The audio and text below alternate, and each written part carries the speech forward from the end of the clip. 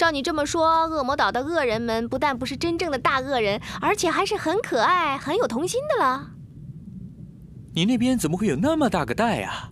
啊，哪有啊？有啊，两个眼袋那么大。我哪里有嘛？哎，我跟你说，在江湖上呢，有一个人说是邪派，他不一定是坏人；有一个人说正派，他不一定是好人。就像江别鹤，外号仁义无双，自命天下第一君子，是真是假，只有他自己知道。可是他们教你的全是古古怪怪的玩意儿，又不是真的武功，你不是吃了很多苦啊？我很快就学会了另一种功夫。什么功夫啊？捣蛋的功夫。当时我只有五岁，每天整得他们五体投地、五福临门、五世齐创、五雷轰顶。小鱼儿，过来，亲亲二娘。小乖乖，过来呀，亲亲二娘。你过不过来？那多难为情啊！自家人有什么可难为情的？亲。嗯。哦，好儿子哦。你你自家的烂面粉。你这个小贱种！你看呢？哎，二妹啊，这个烂面粉不是你送给小鱼玩的吗？赶紧去解药，清洗一下吧，要不然烂到骨头里，就是长白草也治不了你了。哦，我的脸！我今天把大家找来，就是商量一下如何逃出恶魔岛。你你逃得过捣蛋大师吗？上次你想逃走，被他整得很惨，屁股上缠了一千多个刺儿，你拔了两个多月都没拔完，上次。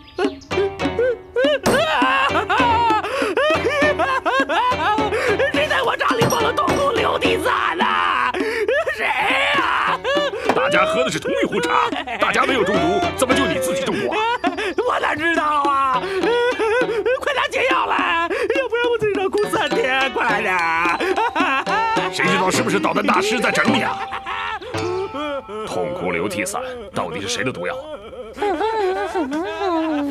又说什么鬼话呢？谁能听得懂啊？小鱼儿，是不是你干的？不是。那茶是你倒的呀？干爹，刚才你也说了，倒茶的人是我，可是人人喝的是同一壶茶呀。我知道了，你不会指着你干娘。我知道了，知道了，这毒可能在杯上。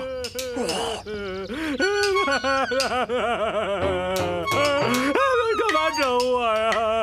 哭得我好辛苦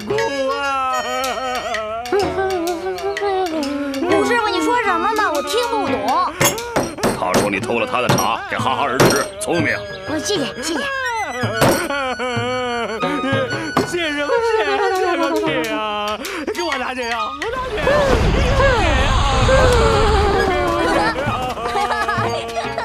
药。笑什么笑？没大没小，干爹要罚你。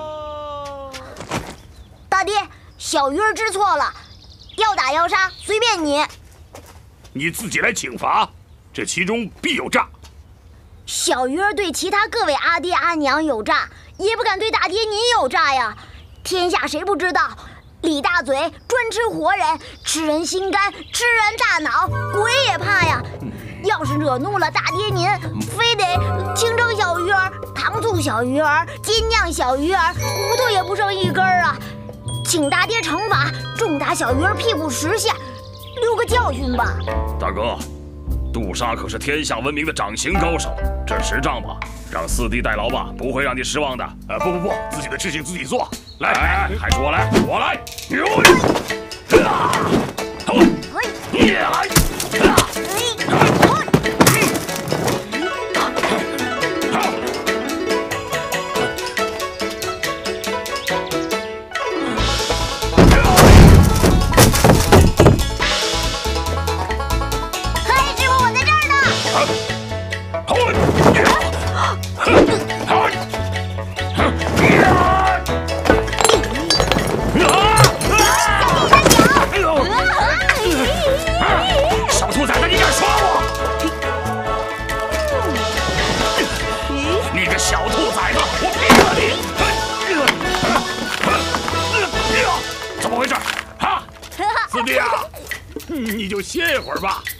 生死不离交能沾上世界万物，就是用解药，也要五个时辰以后。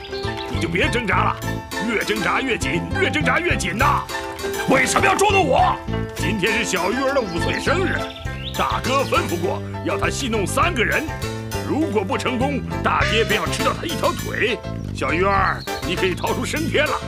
小鱼儿，你以后要终身执着，任何细小的事情都有可能是陷阱，你要步步为营，以后才不会吃亏。小鱼儿，听见了吗？小鱼儿，小鱼儿，听见了吗？啊！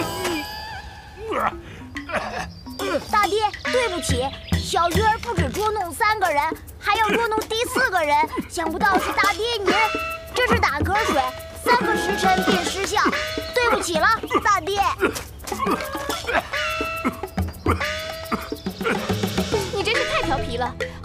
没有惩罚你啊？惩罚我？他们多谢我都来不及呢。在恶魔岛上说多闷有多闷，如果没有我这样调剂一下，我早就自杀了。啊，那导弹大师到底是谁啊？他是一个从不杀人，但是武功奇高，又会用头脑去设计整人机关，令恶人改过自新的大好人。恶魔岛就是他的杰作。我五个师傅都是被他困在岛上，直到他们肯改过。可是江山易改，本性难移，十多年都没有一个离开过恶魔岛。可是岛那么大，总会有出口的吧？哎，他们也以为有，直到我七岁那年，有人传话到岛上，给我二娘涂娇娇。没办法，我就是这么想的。好。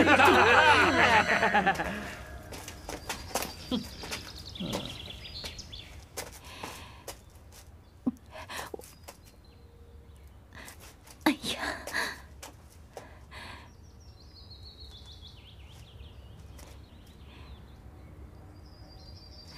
大哥、三弟、四弟、五弟，如果你们怕的话，我便一人行事了。不过，我有个要求，二妹，你说，我要带小鱼儿一起出谷。你说什么？小鱼儿是我的血，是我的肉，我这一走，不能扔下几十斤肉吧？小鱼儿是你的血，是你的肉，难道就不是大家的血，大家的肉吗？你这样把它带走，不等于割我们的肉吗？不行。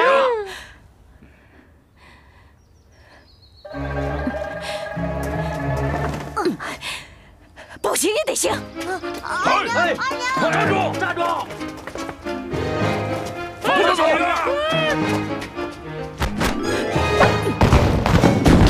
小天，三步迷魂散。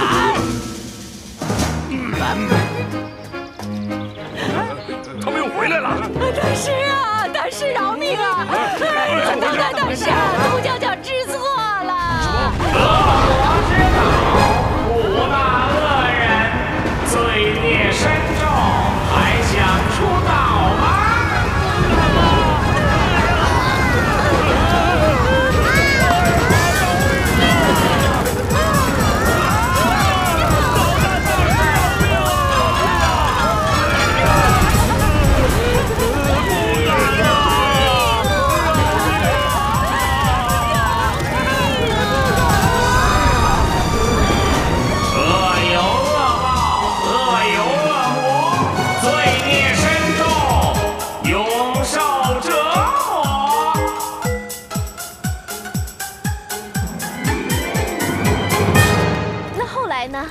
后来，他们想都不敢想离开恶魔岛。那你到底有没有见过导弹大师啊可？以说有，也可以说没有，为什么因为他早就死了。死了？对，他困了五位师傅，在岛上之后一年就死了。我在十七岁那年找到了他的秘密，什么秘密啊？我现在没时间告诉你。你现在有什么可忙的呀？你看我现在多忙啊，哪有时间跟你说话？在这五个师傅里面，你最听谁的话？个个都听，个个都不听，那这五个师傅谁最厉害啊？个个都厉害，个个都是我生命中最厉害的。走与不走，全凭学狗。什么是学狗？就是要训练你有狗一样的灵敏嗅觉，感到打不过人家的时候便走，人家敌不过你便咬他。啊，这烧红的炭可以烤熟整只羊，你知道吗？知道又怎么样？你手里拿的小棍儿戳穿前面的小狼，如果有东西飞出来，你就跳下来，干娘我会接着你。如果没有你跳下来的话，就会让火炭烧烧你的脚趾头，教训你一下，干娘，这种训练有什么益处？训练你手疾眼快、身手敏捷。来，第一个，哦，哎呀，你应该闪头避过才是啊！擦干净，再来。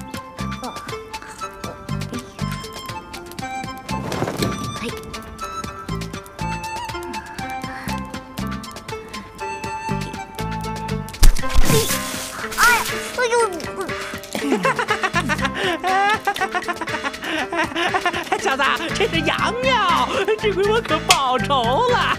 哎，跳跳跳，接着跳跳。你扮什么可怜啊？接着上。咦嗯，哎呦，你该看清楚，这里面什么都没有。你跳下来，干娘当然就不会太管你了。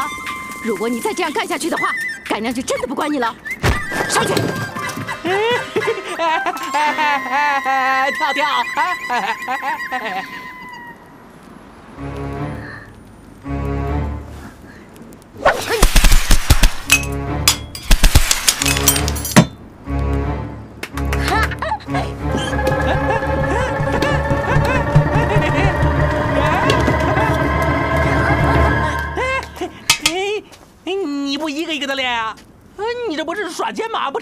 成？吴爹，你们没有早说逐个戳穿吗？小鱼儿一次戳穿，便可以发现里面藏了什么，一次避开了。总之，能避开就是赢。你这不是耍奸吗？啊，不成不成！哈哈，啊，这恶魔岛上谁不耍奸呢？就许你哈哈耍奸，就不许我们家小鱼儿耍剑。小鱼儿，你学会了耍奸，就是学会了真本事。你记住，这世上耍奸的人太多，你学会了耍剑，他们就不敢欺负你了，懂吗？知道了，干娘，好孩子，来，快下来。真的。哦，小鱼儿，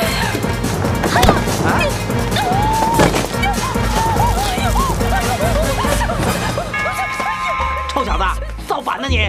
你看给二娘弄的。五弟，小鱼儿不是造反，是二娘不够机灵，不防别人耍奸。聪明聪明，连二娘都被你戏弄了。二妹啊，你真不如小鱼儿聪明啊！小鱼儿，你学会了恶魔岛捉弄人的绝活了。哎呀，小鱼儿，跟大爹学武去吧。干娘，您别生气了，饶了小鱼儿这次吧。傻孩子，干娘怎么会生你的气呢？随你大爹学武去吧。嗯，来，跟大爹学武去。这，好，好，这是闻名中原的铁砂掌。小鱼儿，你也来试试，来插一下，插呀，哎呦，哎呦，插，插插插插，你给我插插呀！你每天插一千下，三个月后你就可以插穿门板，三年之后你就可以插穿铁板。像我练了三十年，石头也可以插穿。过来。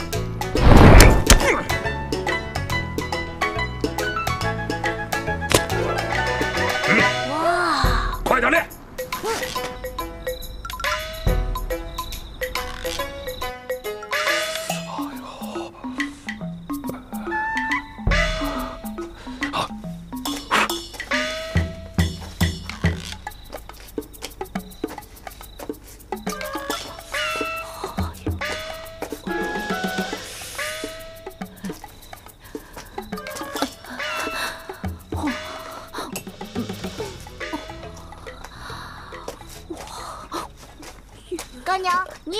酒啊？是啊，干娘，烫得很厉害吗？呃，没什么，没什么。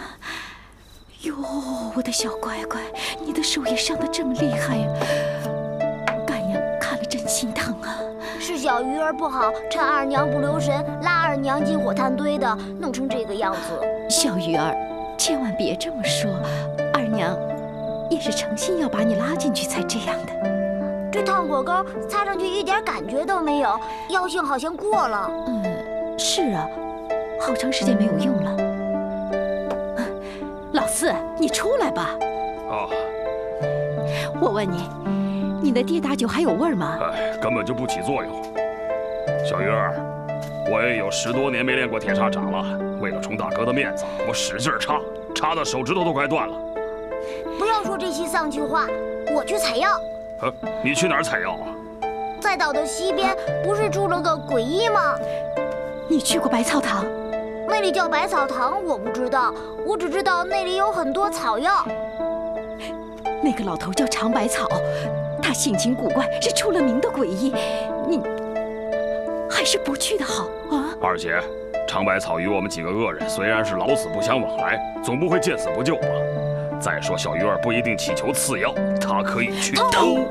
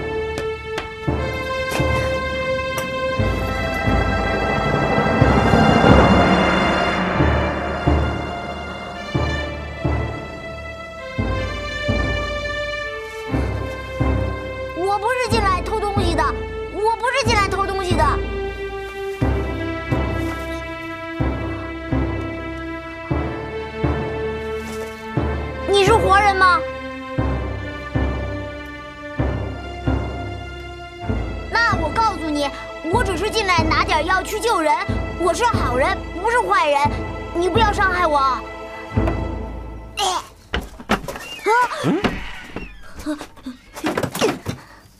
啊！小孩儿别怕，他是个活死人，不会伤害你的，我也不会。孩子，你从哪里来啊？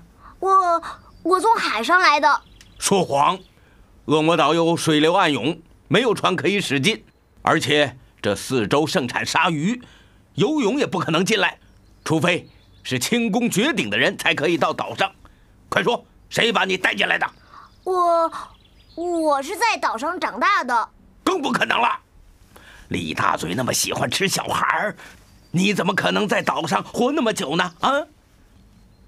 哦，难道你是涂娇娇和那帮恶人所生？我干娘常说他们长得丑，有谁会喜欢他们？不会的。什么？涂娇娇是你的干娘？嗯。啊！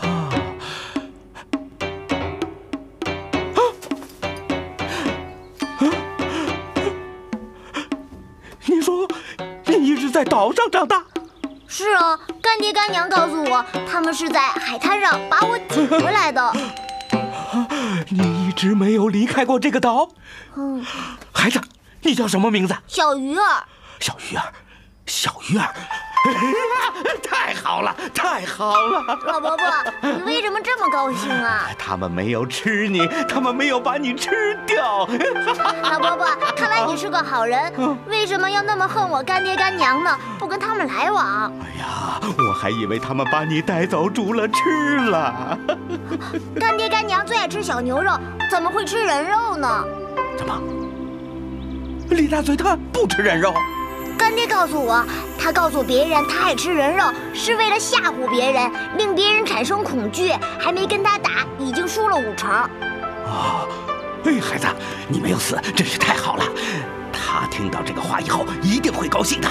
他是谁？怎么会变成活死人？哎，他就是把你带到岛上的一代大侠燕南天呐。哎，你的身世，相信只有他一个人最清楚了。燕叔叔，他哭了。他听到了，他听到我们讲话了。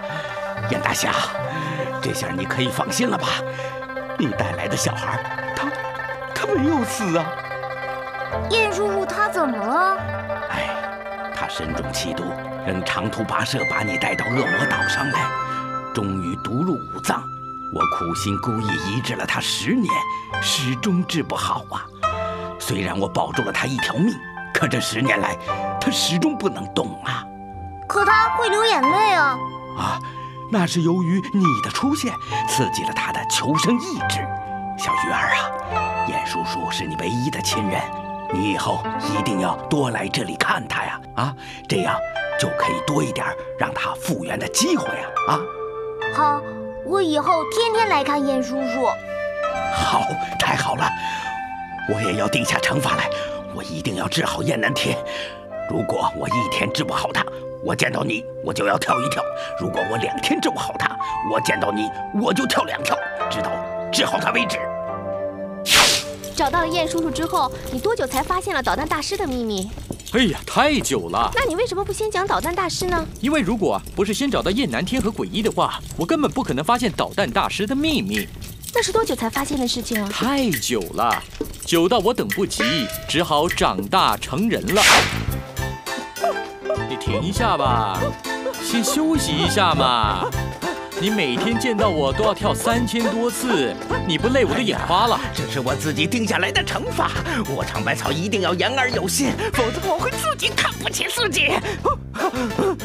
没用的，你把跳的时间用来想办法医他，不是更好？我一没跳，血液就会冲进脑子，想问题更快呀。现在我明白什么叫自欺欺人了。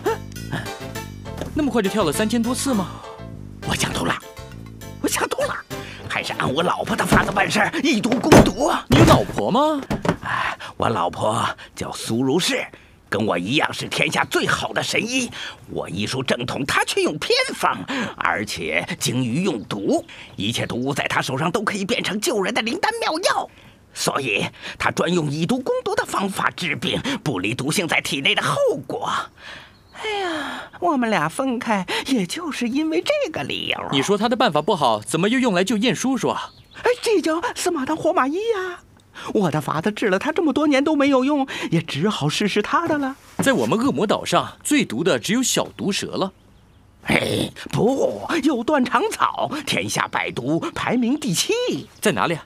哎，半年前我去山上采药，走到一处裂缝边上，被一群毒蛇追食啊。可是当我走到裂缝上，那群毒蛇它就不敢追过来了。根据我的经验啊，这里有特强奇毒在内，就是断肠草。当时我尝试着下那条裂缝，哎呀，可是人老骨头硬，下不了了。可我发现，在那个裂缝里有几只死了的小动物，全身发黑，捡回了一验，果然是中了断肠草毒。我推测那裂缝的下面肯定有断肠草。好，那我去一趟。哎，快去快回。可是我不知道断肠草什么模样。你看，这。是我老婆写的《百毒纲目》，你拿回去一看就明白了。好，哎，你没放那儿啊？让我以后怎么看呢？臭死了！我不能让干爹干妈知道我跟你有来往啊。为什么？自从十年前他们知道我来你这里讨药之后，他们就一直无所不用其极的抹黑你。我？对，长白草是诡异，他专门抓小孩侮辱的。小玉儿，长白草会吸干你所有的血去炼血葫芦，然后再往里面加点冰糖，就是它的零食——血冰糖葫芦。它会把你的一双眼睛挖出来，然后再把你的皮剥掉，接着把你的肉晒成人肉干，最后把你的骨头挂到墙上当装饰。他那么坏，坏透了！他的良心可坏着呢，坏的我都不想笑了。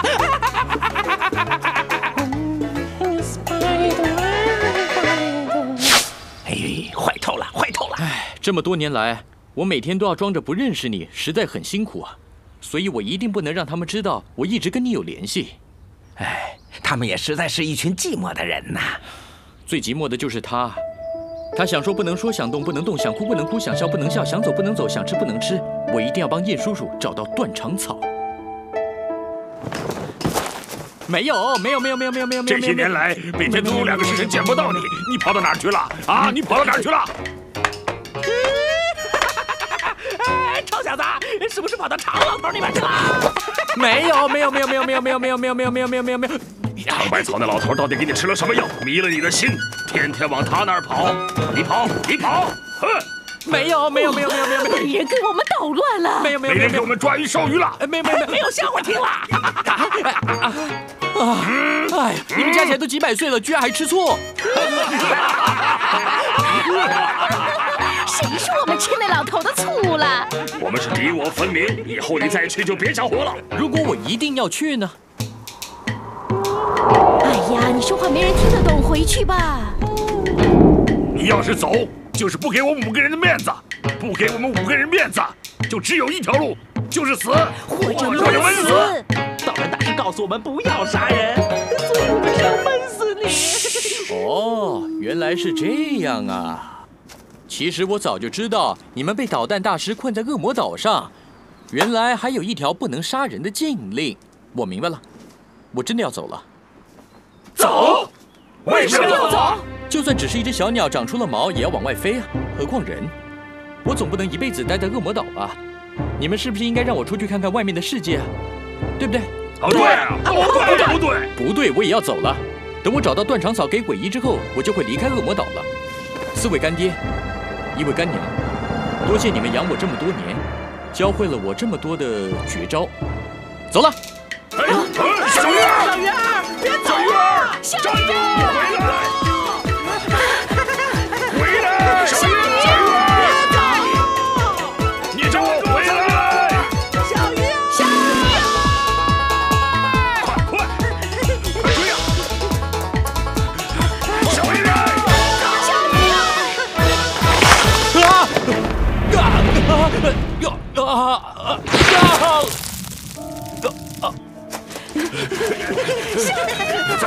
面，快点！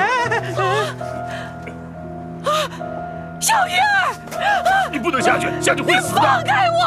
放开我！我要下去救我儿子！下去！放开我！好了，都怪你！我不让你使劲追的，你偏偏使劲追，你把我儿子摔死了！你赔我儿子！我怎么知道会这样？你赔我儿子！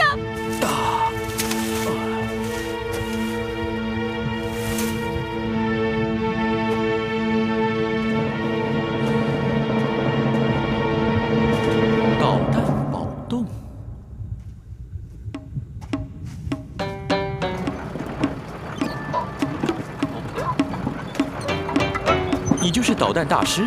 我是导弹大师造出来的木偶人，跟少林寺的木人像原理一样，不过我的动作更多一些。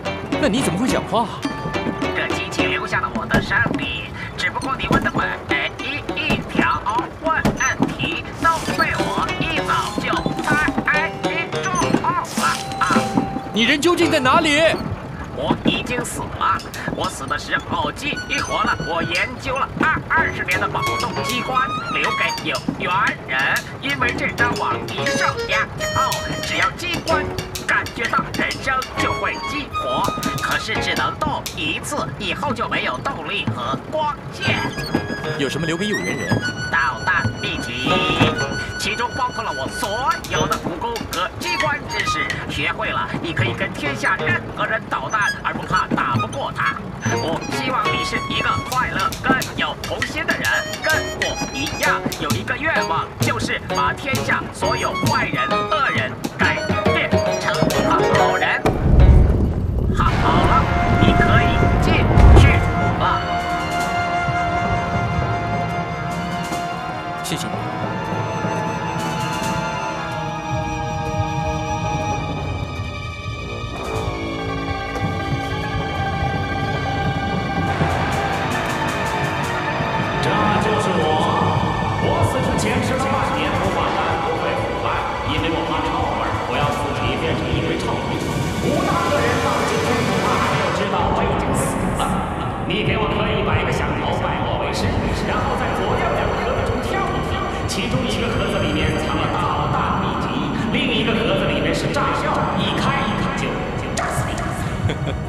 导弹大师就是导弹大师，死了还不忘整人。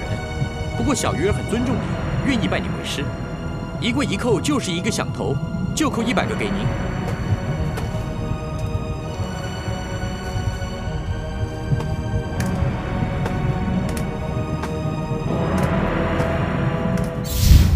你真的磕了一百个响头啊！磕足一百个，这才叫诚心诚意嘛！好险啊！如果我少磕一个，立刻没命。我可以叫你声师傅了吧？师傅安息吧。好了，一百个响头磕完了，你的秘籍我不要了。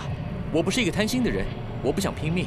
走了。哈哈哈哈哈！好孩子，真是磕足了一百个响头。你看看蒲团下，你磕足一百个响头，也就是摁了一百下按钮，才激活这机关。其实两个盒子都是炸药。如果你不磕足一百个响头就想拿秘籍的话，肯定会被炸得粉身碎骨。好尖啊！秘籍在我身后，来拿吧。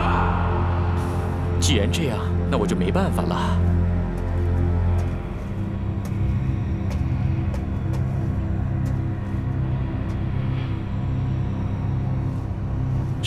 打扰了。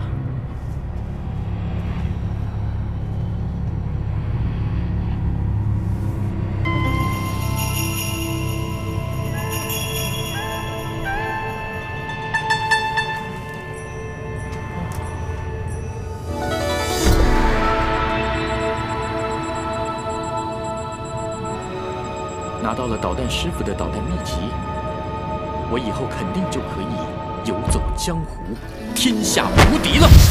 你不是要拿断肠草回去救你燕叔叔的吗？导弹大师设计的恶魔岛，巧夺天工之处就是有出无入，出去了就别想再回来。当我离开恶魔岛的时候，原来出口是在海底。等到我冒出水面，发现自己已在暗流之外，怎么游我都游不回恶魔岛去，只好游到对面陆地。啊，游过去了，不是说有好多鲨鱼的吗？没错，导弹大师在我临走的时候留下了三瓶粉末给我，第一瓶就是龙墨香，叫我走的时候擦在身上各处。知道龙墨香是什么吗？龙墨香是鲸鱼的分泌物，鲨鱼一闻到就不敢靠近了。它闻不到你，可是它们能看到你啊。鲨鱼视力很差的，找食物都是靠鼻子。就像你这样，每次说话都离得这么近。嗯嗯，嘘，有人来了。困了我们这么久，为什么现在要来？为什么不干脆把我们饿死在里面？一定有什么东西怕被我们死前破坏。这里面都是石头，能有什么东西啊？一、二、三。哇！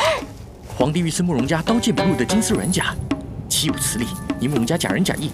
没收。哦，嗯，又是玉蝉，你慕容家假仁假义，没收。哦，千年难得一见的天下五大奇珍之一火灵芝，再重的内伤都能治好，假仁假义，没收。喂，没收。慕容老爷的骨灰。鱼儿哥，那我们现在怎么办呀？一早就知道了。等。等。鱼儿哥，把骨灰和火灵芝给我放下！还算你有孝心。你让我们安全的出去，我就把骨灰还给你。你这小子，慕容世家岂是你想来就来、想走就走的地方？这样啊，那我不走了，你们走，别吵着我跟你爷爷睡觉。喂，这位少侠，你夜闯我慕容世家，究竟有何贵干啊？哦。想了解武林盟主铁如云是否在府上做客？胡说！铁如云失踪多时，却如何会在我慕容家？莫非这位就是铁盟主的千金，在黄山力挫群雄的铁心兰？没错，在下就是铁心兰。好，你把火灵芝跟骨灰交给我，我看在铁盟主的份上。不为难你们，给铁盟主面子，给不给我这小侄女面子？给铁盟主面子，给不给我这小侄女面子？那当然，给小侄女面子，给不给小鱼儿面子？给小侄女面子，给不给小鱼儿面子啊？你到底要怎么样？这里太热了，出去还给他。这里太热了，我出去还给你。好，一言为定。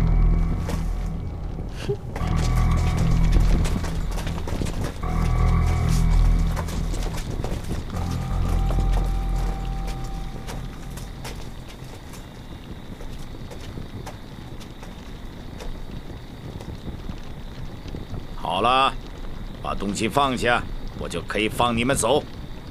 你当我是傻子吗？放下东西还能走？你什么意思？你不放我们走，我就打破你老子的骨灰坛。哼我根本就没想要回骨灰。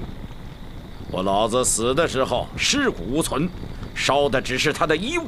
我要衣灰干什么？火灵芝倒是丢不得。哦，这样啊。抓住他！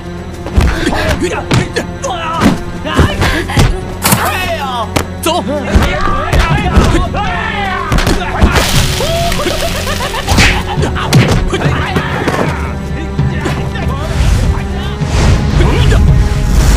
黄龙掌，小心！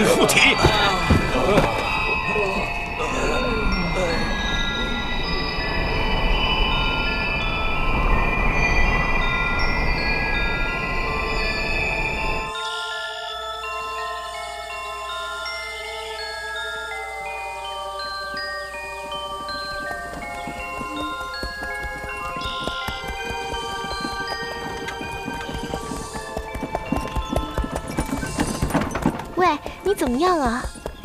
没事啊，有什么？你别逞强了。没事的。还好有导弹大师的那个什么幻觉粉，要是没有的话，我们肯定走不了了，完蛋了。可惜啊，只有一小瓶，用完了，没了。那我们现在怎么办啊？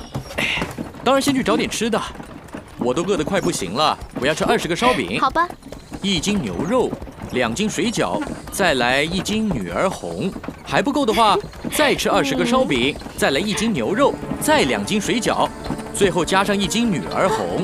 你你怎么了？没事，我那一掌中的结结实实的，我能撑到现在才吐这口血，算不错了。傻瓜，你为什么要为我挡这一掌啊？我不挡，现在躺下的是你，你挨得住吗？你为什么对我这么好？对一个人好是不需要理由的。癞蛤蟆不一定要吃天鹅肉，可是有权对天鹅好。鱼儿哥，鱼儿哥，鱼儿哥，车夫，再快一点儿！好嘞，这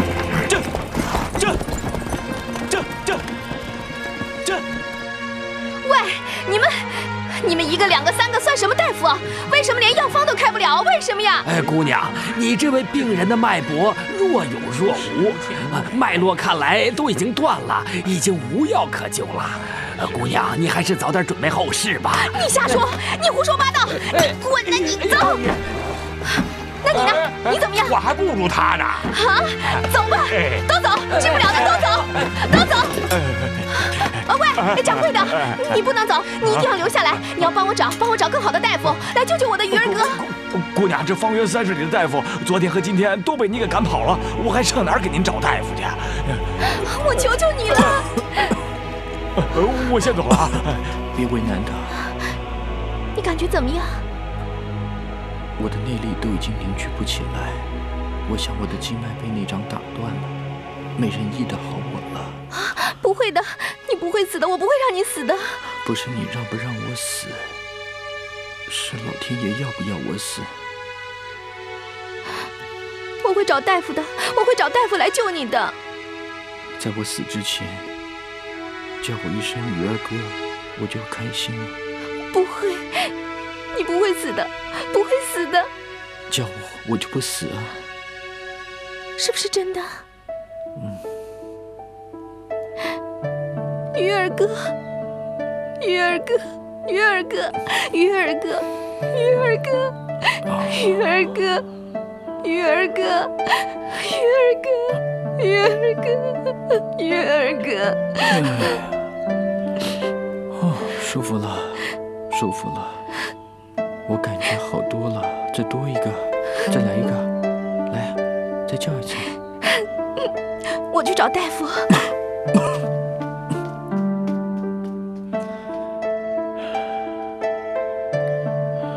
难道我小鱼儿真的那么短命？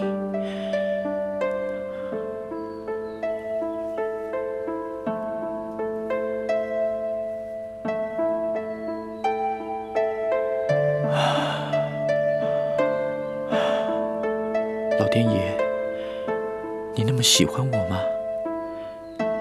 要我那么快去陪你？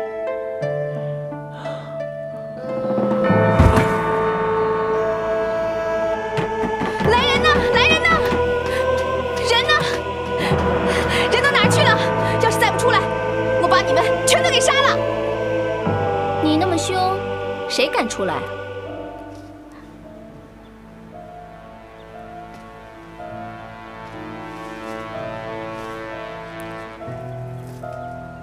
他们要是还治不好我大哥的话，我就把这儿的大夫全杀了。是吗？有一个治不好的病人。你是谁啊？我是大夫，我叫苏英，看我能不能治好你大哥。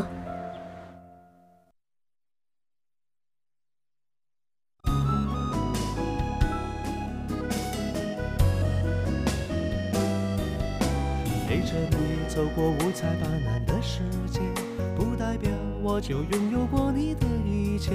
谢谢你的告别，带给我这么多感觉。也许因为我的天资不够，体会不到你对我的体贴，但是可能你对我并没有那么了解。逝去的青春，就像我们曾经留给对方的伤痕，两个人无话不说，再到最后陌生。我想我都可以去忍，路上的灯看着我们冒着雨在情节里飞奔，希望有个人能明白我的眼泪和我的后半生。原来我一开始就陷得那么深。